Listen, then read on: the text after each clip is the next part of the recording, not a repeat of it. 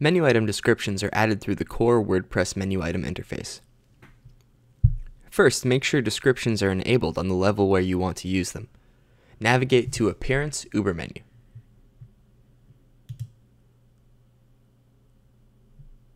Under the main UberMenu configuration tab, click on the Descriptions section.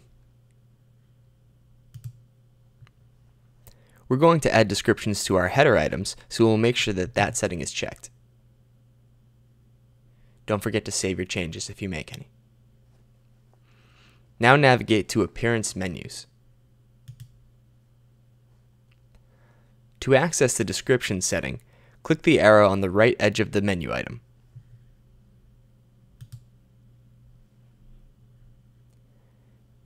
If the description field does not appear, click the Screen Options tab in the upper right of the window. Then check the description box.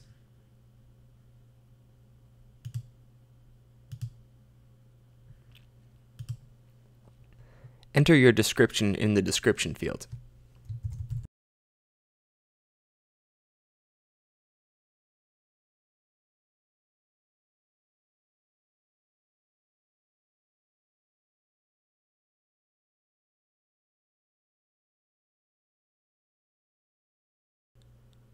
When you're done, click Save Menu.